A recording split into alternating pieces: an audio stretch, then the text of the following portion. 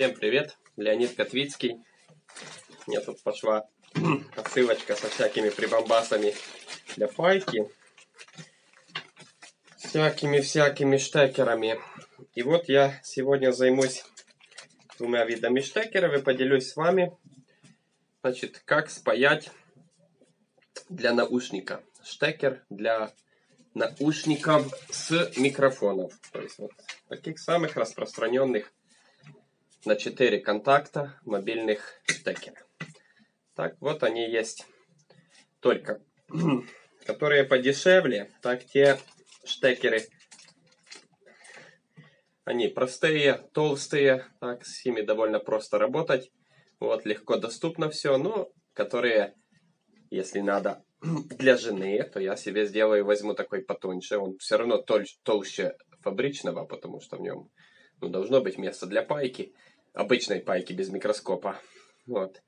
Ну и мы сейчас его попробуем спаять. Здесь уже все довольно, довольно таки все гламурненько и тоненько. Давайте разберемся с его, значит, с рас, распайкой, что куда. И я покажу. Я сам не ремонтник. Вот, покажу, как это делается. Думаю, ничего сложного и для вас тоже не будет переходим, так сказать, поближе. Итак, обычная схема всех, практически всех их, так идет такая. Здесь идет первый контакт от начала э, или последний с конца. Это база, так, или земля, общий провод, обмотка, он же, так. Здесь идет левый канал, правый канал наушника и микрофон. Если три контакта, то левый, правый и база, так микрофона нет. Вот. Аналогично в этом. Они различаются формой и так далее. Здесь уже дальше могут быть нюансы. Потому что если вот здесь база понятна, то какой из этих каналов за что отвечает, ну, хорошо, если есть, если, значит, есть возможность прозвонить чем-то, тогда это определяется. Так, вот мы видим, здесь идет по самому центру. Потом второй идет. Потом микрофон у нас будет здесь. Так, эти не реагируют. Вот это у нас будет микрофон и вот это база. Ну, здесь просто так. От конца, от конца к началу. Так обычно оно и предполагалось. В этом тоже надо посмотреть. Здесь уже все более тонко. Но если эта база то это по-любому, так, то вот эти три надо тыкать. Что это? О, значит, это у нас идет левый, это будет, значит, правый, это будет микрофон. Вот такой нюанс. А вот заморочки со самими шнурами может быть гораздо больше. Вот почему? Потому что в шнурах, ну ты же не будешь в шнуре, в шнуре таким способом прозванивать. Так, значит, вот, наушники жены, ее любимые, много лет уже любимые, как бы хорошие, долгослужащие, но пришла пора и так здесь отшатывается. Ты его держишь в мобилке, а когда пошатаешь, покрутишь, начинает проскакивать звук. Вот. А в другие моменты отходит и все. Значит, что делать? Если здесь, допустим,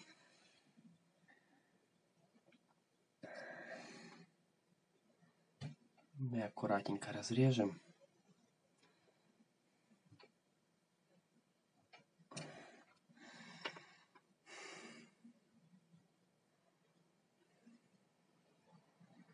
Вот попробуй по этим цветам, пойми, что есть что. Так, ну, скорее всего, вот это белое, это будет обмотка. А вот красный, зеленый, синий, попробуй догадайся разбирать и пытаться прозванивать со стороны э, наушников как-то тоже не хочется разбирать и лезть туда. Так?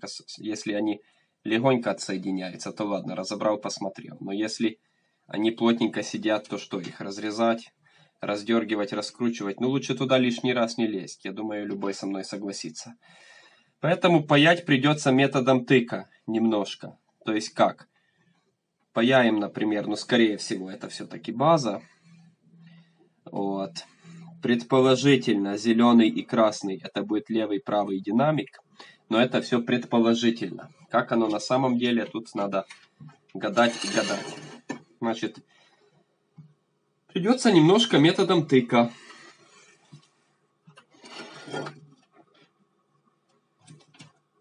Так. Метод тыка у нас будет состоять в следующем. Так, значит, припа припаиваем, наживляем. Так, и включаем наушники в мобилку и слушаем. Так, слушаем. Появился звук, значит это был звук какой-то там колонны, какой-то там левого. Не появился, значит это микрофон, либо еще что. Вот таким образом и будем с этим всем разбираться. Теперь что еще? Э, когда паяешь такие штуки, тут важно, чтобы они, э, ну здесь они состоят и из ткани, так и из металлической части. Металли... Ткань нам не нужна, пусть она себе выгорит. А металлический нам надо, чтобы припаялся только кончик. Нам не надо, чтобы вся металлическая вот эта часть буквально пропаялась. Так, значит, нам нужно, чтобы только-только кончик прихватился, потому что все контакты очень близко. Так, и если голым будет металл и контактировать будет с соседними контактами, то это будет очень плохо. Так, нам надо, чтобы только самый-самый кончик этого контакта присоединился. Если знать наперед, какой из них чему соответствует, знать наперед, то в идеале делается так. Этот обрезается самым коротким, так.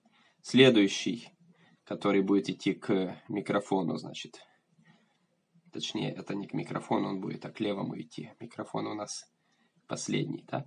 Значит, следующий берется чуть, чуть длиннее, следующий, например, красный еще чуть длиннее, и они просто не достают друг для друга.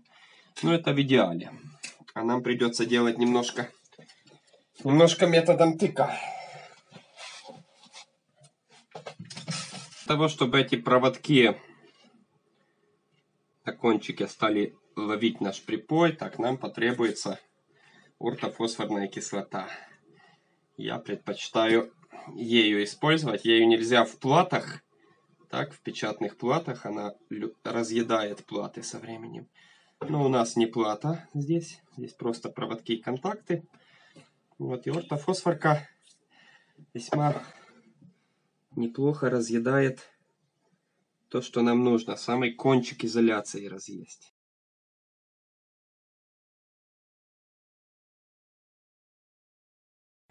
Итак, вроде бы нормалек, да? На, наживилась.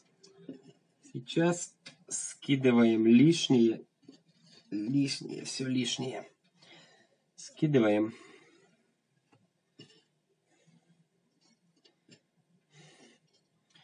Я обещал показать пайку обычным паяльником, так? Это значит что? Это значит, что вот эти все тонехонькие штучки, да, надо как-то достать обычным паяльником и не, и не спаять соседние контакты. Если в этом еще проблем не будет, да, здесь они довольно разведены, можно отогнуть все, то здесь именно обычным весьма заморочно. Поэтому две вещи –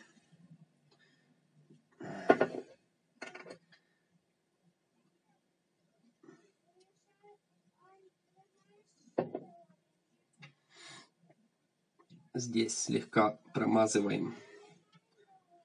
Промазываем слегка. Так сказать, залужи, залуживаем, да. И нам нужно, чтобы на паяльничке был самый такой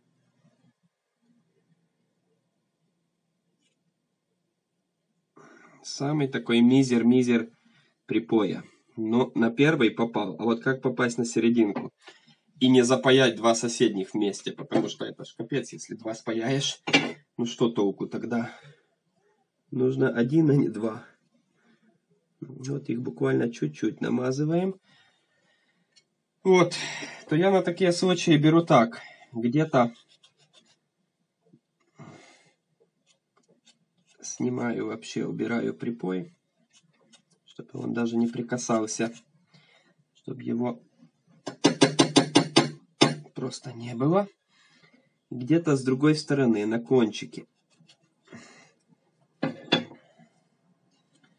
Зачищаю вот такую булечку.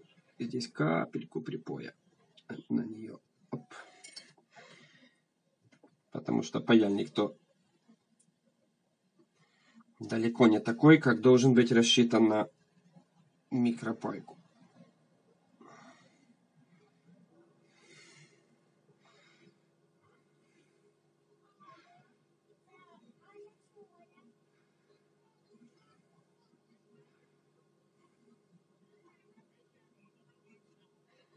Попал, попал. Не спаял два соседних, не спаял. Вот так, в принципе, обходимся. Да, село есть село. Я знаю, кто-то скажет, какой-то мастер, особенно мастер, который работает с нормальным инструментом, скажет, зачем.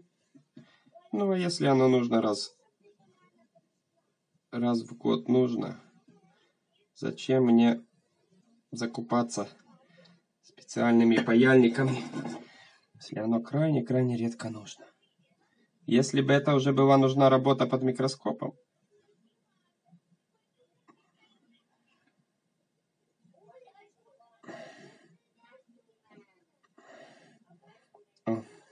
Если бы нужна была работа под микроскопом, то уже да. Тут лучше отнести к мастеру и не, не мучиться. Вот. А если такое, можно сделать обычным домашним паяльничком. Если есть и маленький паяльник специальный, то тем лучше. Тут даже нет вопросов. Тем лучше. Вот. А так, выкручиваемся таким образом.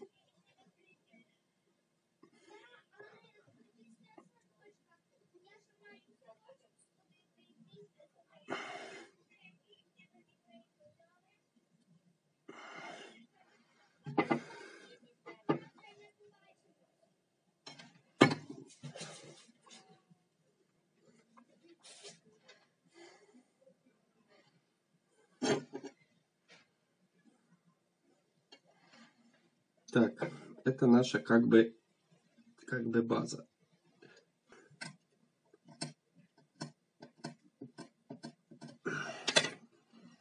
Придется ножичком снять изоляцию.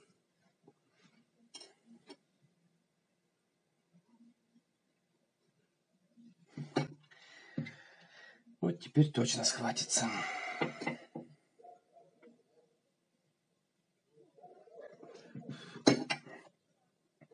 Так, держится, держится.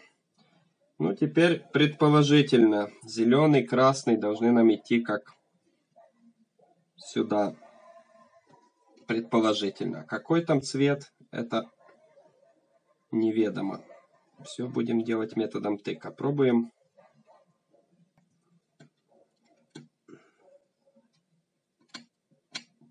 Дочищаем на самый-самый кончик ортофосфорная кислота, она же паяльная. Оп.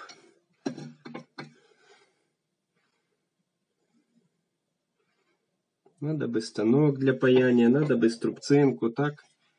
Ну что ты сделаешь? До сих пор не обзавелся.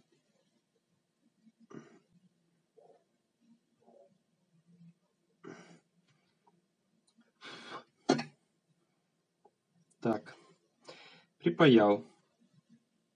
Сейчас что? Испытание, метод тыка.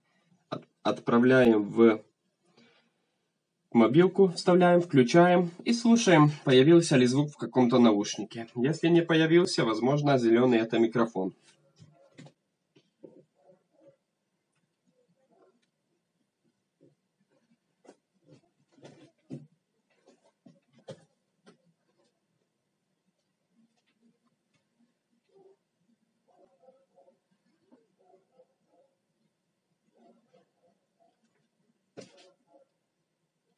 Так, ну есть звук? Есть звук сейчас у меня в правом наушнике. Хорошо, пробуем красный. Пробуем, отдаем дочери. Так, и пробуем припаять теперь красный к следующему контакту. Так, последний у нас это должен быть микрофон. Пробуем. Все методом тыка в домашних условиях.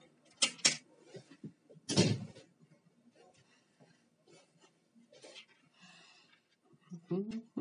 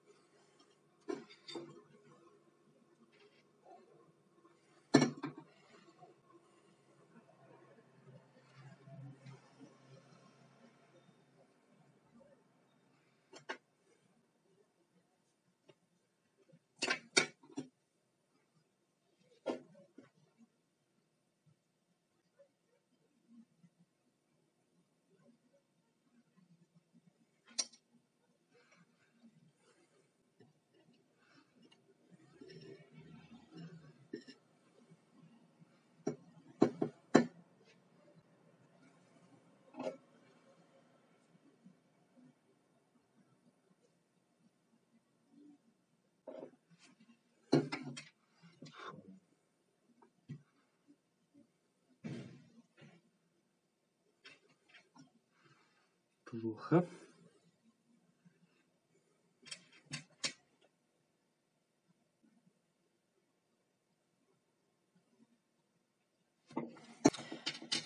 Так, пробуем дальше. Красные и зеленые припаяны.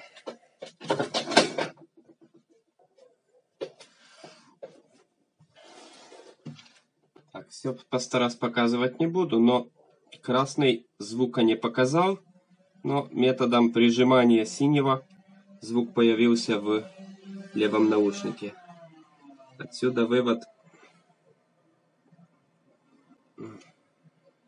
что синий, синий является именно звуком с левого наушника, и его мы сейчас будем припаивать.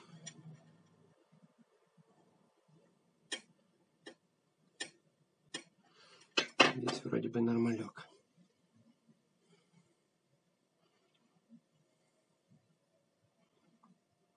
Красный, скорее всего, является звуком микрофона, хотя еще может оказаться, что он является общим массой.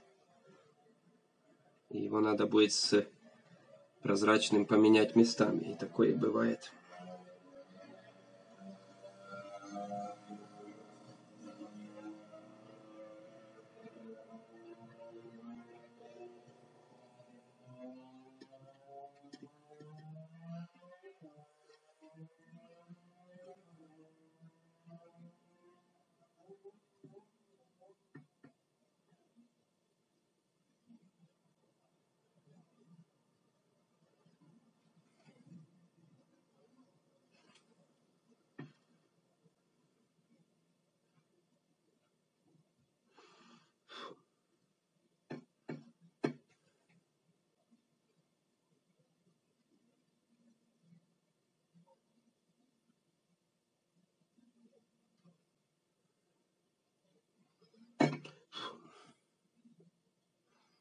Так, ну то и появим сразу уже красный.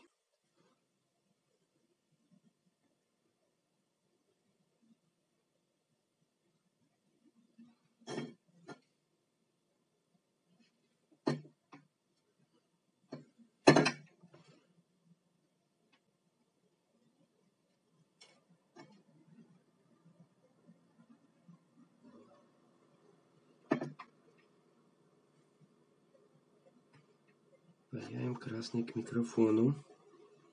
Точно так же уголочком.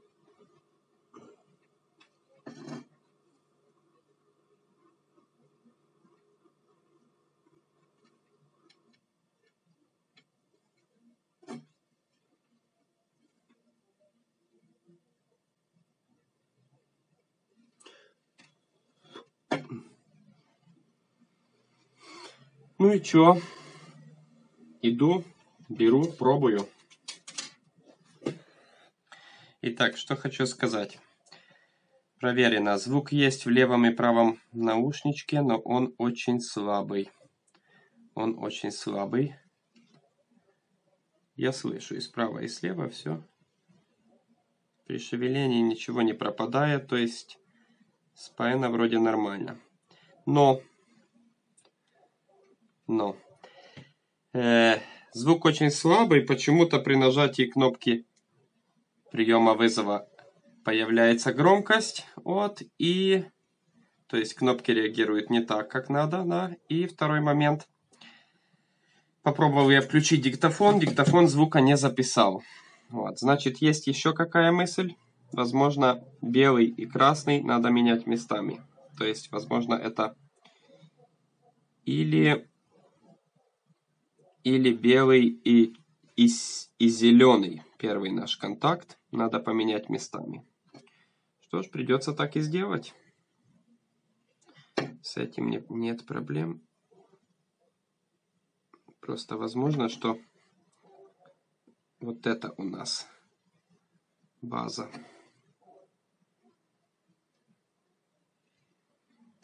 Поэтому и очень слабый звук, что у нас нет.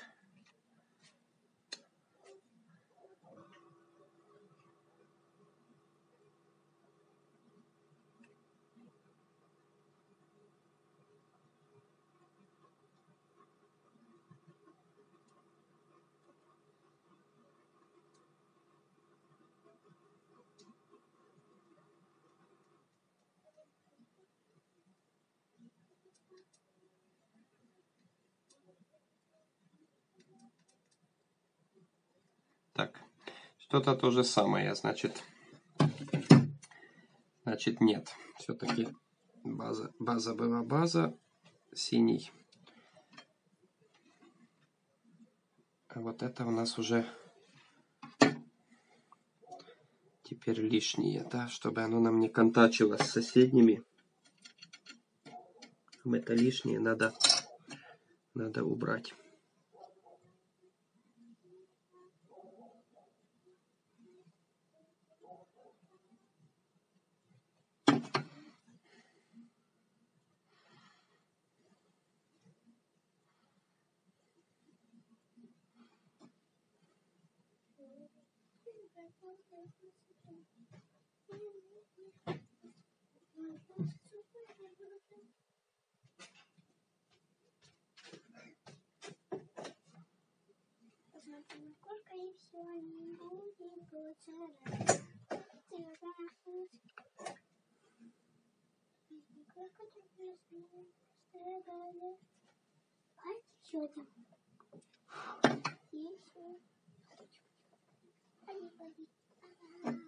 Попробуем поменять красный и белый. Ну как, нам, нам красный сюда взять как базу.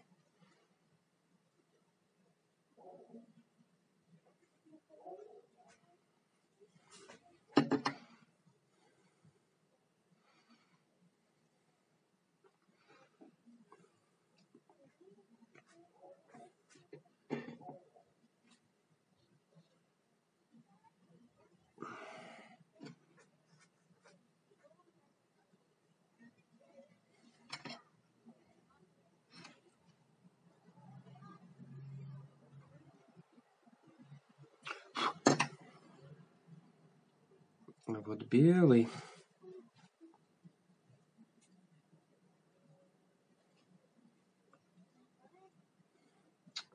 Ладно, я тут похабно припаял.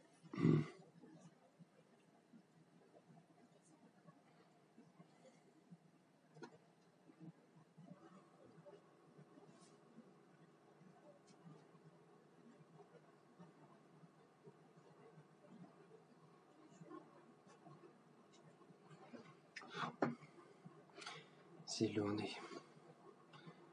Пробуем белый.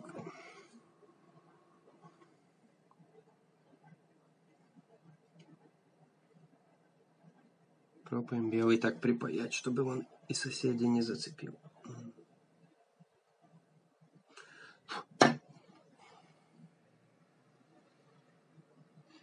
Так.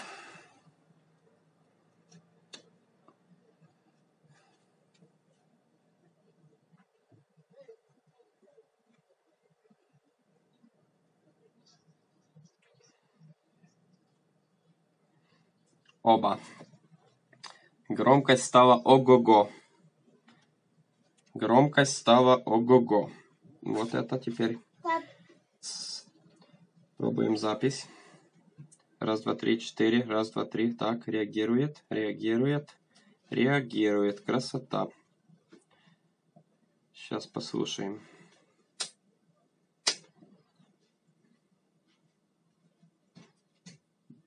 Супер. Теперь что надо? Теперь надо включить, попробовать, не пропадает ли при шевелении. Не припадает ли при шевелении нас чего? Вроде бы нет. Итак, теперь две вещи можно сделать. Одно залить здесь термоклеем. Но у нас какой термоклей? Термопистолет у меня есть с прозрачным содержимым. Можно его и не заливать термоклеем, это не самое главное, но держаться будет лучше. И использовать термоусадочку. Термоусадку я уже предварительно вставил, правда, она у меня м толстовата. Пожалуй, я использую пока что только термоусадку.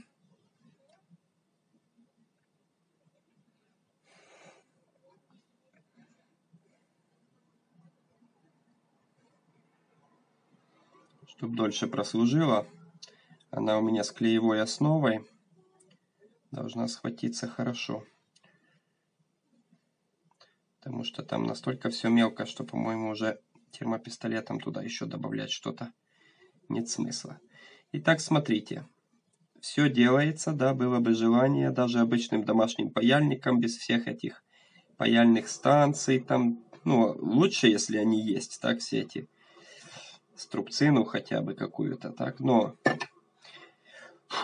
при желании можно сделать даже без этого всего, вот.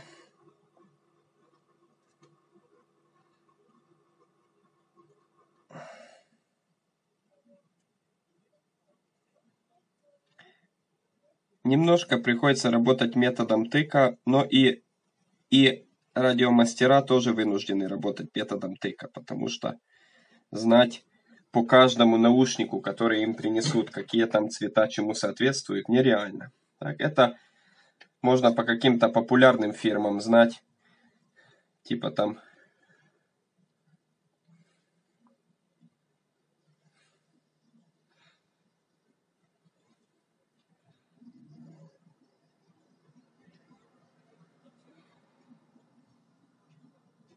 Ага, мощный звучара. Ух! Это можно по каким-то популярным там фирмам знать их цвета. Так? А так, либо разбирай наушник и прозванивай, что, что у тебя куда идет. Что тоже не хочется его лишний раз разбирать.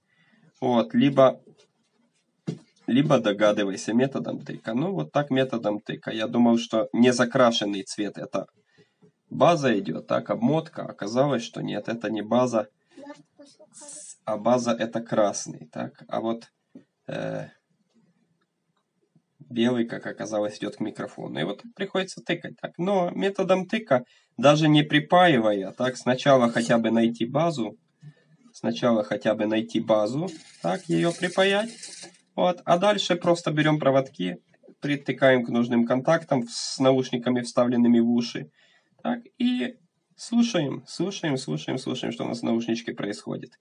Нашли правый наушник, нашли левый наушник, припаиваем. И как видите, если есть тоненький, хороший паяльник, а не как вот этот, я не помню сколько здесь, 20 или 30 ватт, наверное 30, вот, то тем лучше так. Но если нет, вот, то ничего, можно спаять и таким, как видим, зачистили и тык-тык-тык, легонечко что-то припаяли. Вот. И вот таким образом, да, найти в интернете Находится это по запросу штекер 3.5 mm 4 пин.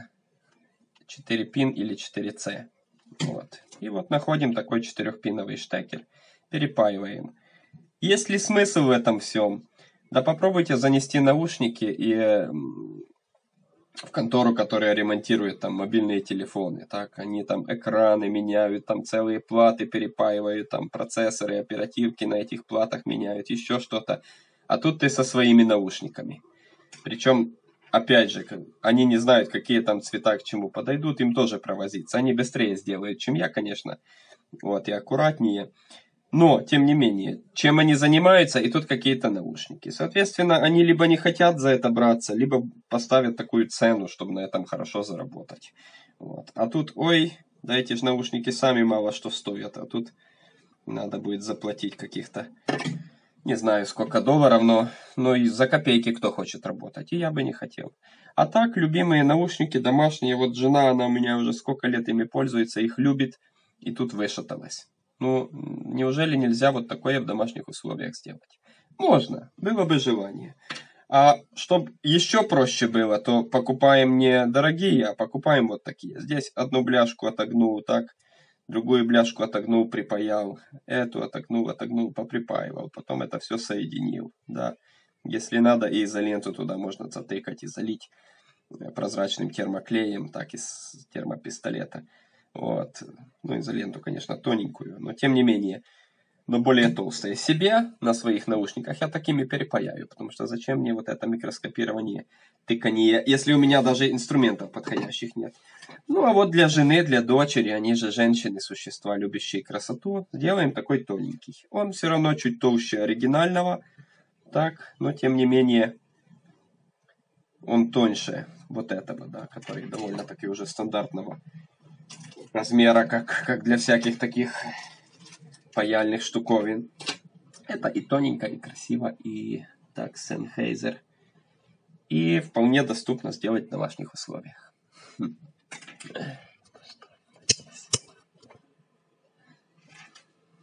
Ну что, я надеюсь, пусть немножко не так красиво делаю, как в радиомастерских, так а может и множко, да, далеко не так красиво, вот, ибо инструмента нет и навыков. Но если я простой э, человек, э, не технарь, гуманитарий, так, я злостный гуманитарий с самого детства, да, и тем не менее, вот, взял, научился, сделал, то почему это не можете сделать и вы, ну, если прям нет какой-то уже болезни, которая не дает такие вещи делать.